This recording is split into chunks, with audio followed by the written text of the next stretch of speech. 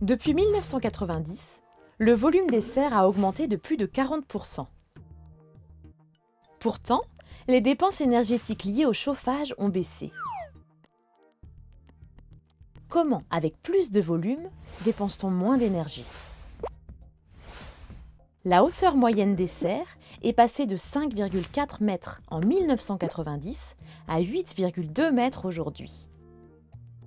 Dans une serre, le chauffage est dédié à compenser les pertes énergétiques liées au contact entre l'air extérieur plus froid et l'air intérieur plus chaud. Ce qui compte donc est la surface d'échange, c'est-à-dire les murs et le toit. Prenons comme exemple une serre de 5 hectares avec des murs de 4 mètres de haut. Sa surface d'échange s'élève à 60 000 mètres carrés. Si on augmente sa hauteur de 2,5 mètres, cela correspond à une augmentation du volume de 44%, mais à une augmentation de la surface d'échange de 4% seulement.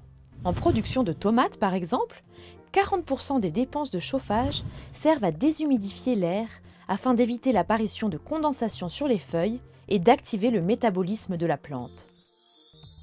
La technique traditionnelle consiste à évacuer l'air humide par les ouvrants et laisser entrer l'air froid et sec de l'extérieur.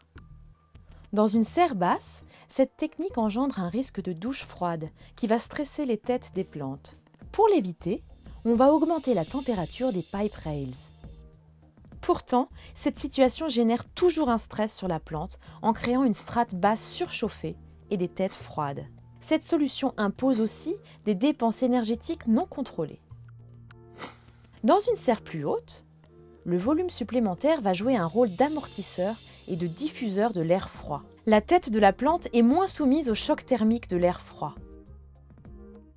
La régulation du climat au moyen de tubes de chauffage peut se faire avec des consignes de température inférieures. Cela va permettre de diminuer les dépenses énergétiques. Au final, la déshumidification pourra se faire de manière plus douce et mieux maîtrisée. Dans le prochain épisode, nous verrons comment les serres semi-fermées permettent d'aller au-delà des techniques traditionnelles pour gérer ces paramètres tout en économisant encore plus d'énergie.